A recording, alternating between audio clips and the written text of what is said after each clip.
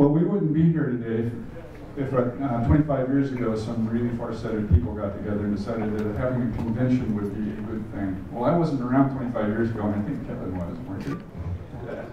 Okay, he's going to tell us a little about, uh, about uh, he's going to tell us a little bit about the beginning of Enfilade and some of the members who made Enfilade continue and grow throughout the years. Um, yeah, this is Enfilade's 25th anniversary, and it is the showpiece for the Northwest Historical Miniature Gaming Society. Um, but it's NHMGS is a lot more than Enfilade. I just the first thing I want to do is recognize all the other organizations that do such great work. Um, and it's not even just organizations, it's, uh, it's the stuff that you do on Saturday at brick and mortar stores. Um, it's our sister organizations in uh, North Vancouver and Burnaby and White Rock, in Portland, Astoria and Eugene, in Spokane, the Tri-Cities, in Tacoma, in Olympia, in garages and game rooms and basements everywhere that make Enfilade and Drumbeat and Salute and Tactical Solutions possible. Um, your work is the laboratory uh, for each of these events, and we want to thank you for your contributions to the success of this weekend. Um, NHMGS goes back further. Uh, NHMGS is older than Enfilade. Um, uh, it goes back to the early 80s.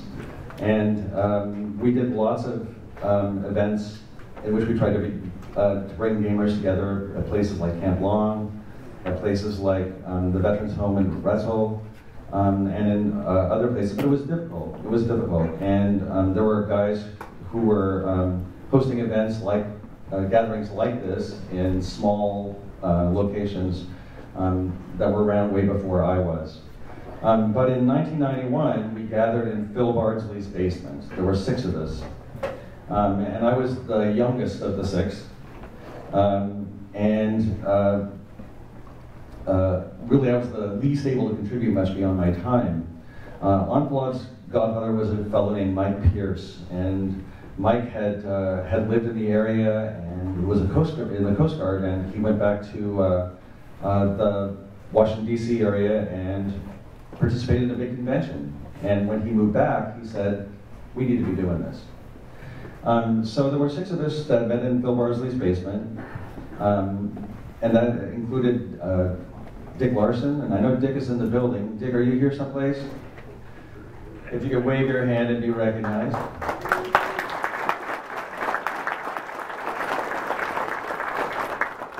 Dick is the godfather of all things NHMGS.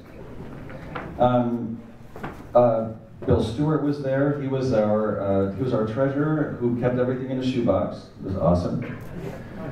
Um, and Phil Bardsley and Bob Mackler. I was I was the uh, the vice president and the nominal publisher of the Citadel because I had a personal computer and a printer.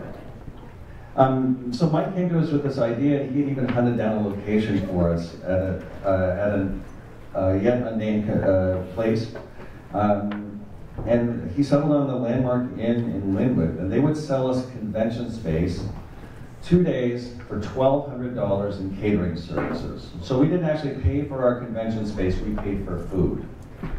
And um, for the first couple years, uh, for the first few years that we were there, um, we would stop gaming promptly at about 6 o'clock, and all the attendees would line up for a big buffet. And um, it was an all-you-can-eat buffet, and it was really enough to feed about 30 people.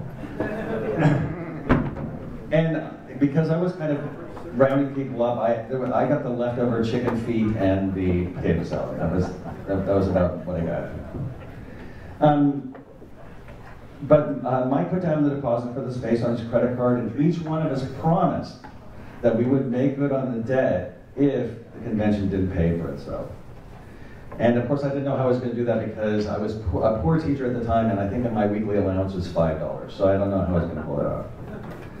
Um, but the convention was, uh, the most important thing is that the convention was a success. We did quite well. Um, Mike was the convention director. He done the um, sponsorships and dealers for the con. Um, I was the event coordinator. And um, it's my fault that we have this period system, uh, mostly because I'm a, I'm a teacher and so it looks like my classroom. so you can blame that on me. Um, in the beginning, we invited out a, guest and hosted him at his uh, expenses. Our first guest was Arty Conliffe of uh, Tactica fame. He was our first guest.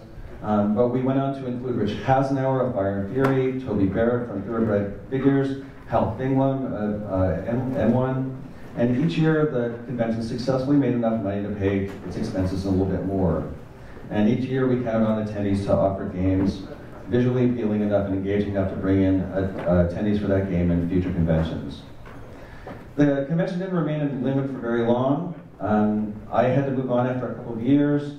Um, Tim McNulty uh, um, took on uh, being president of NHMGS and the convention director, and he really was instrumental in keeping the convention going. Um, Tim decided that it wasn't in our interest to continue hosting uh, people out here. The expense was a, a, a lot. Um, he also moved the convention to Fife, where he felt he could get a really good deal. Originally, the convention was um, on Armed Forces Day weekend, um, but he found that by doing it on Memorial Day weekend, we could get a really good deal on a bigger space for three days. Originally, it was a two-day convention, and Tim made it a three-day convention. Um, and he did a great job of, uh, of running things for uh, seven years, I believe. Um, and uh, so uh, the convention was in Fife at the Executive Inn. We'd probably still be there, except they declared bankruptcy in 2000. And they canceled our contracts. We actually had contracts that ran into 2003 or 2004. Um, I took over for Tim in 1998, and, um, after 2000, um, we found ourselves searching for a new home. In 2001, we spent a pretty unsatisfactory year at the SeaTac Marriott. And when the Marriott refused to provide us with the same space in 2002, um, I was really fortunate that I was contacted by, by the Red Lion, who had the list of folks who had contracts at the, um, at the Executive Inn Fife, and so we ended up here. Uh, this has been our home now for well over half the life of the convention. Um, the convention remains a success in terms of attendance and financials. Um, in this, our 25th year, we may have our largest ever attendance and the most games scheduled ever.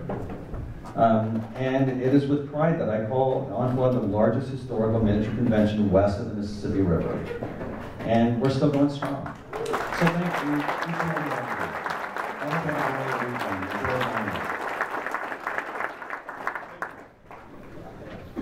Color guard, right? Turn. Color guard, to the left, forward,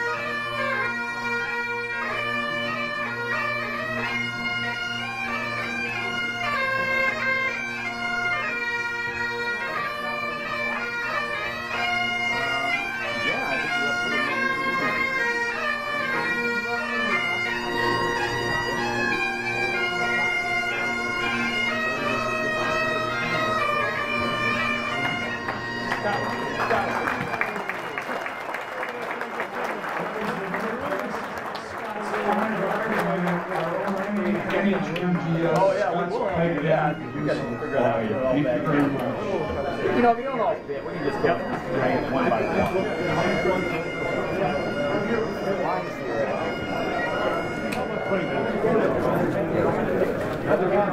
one.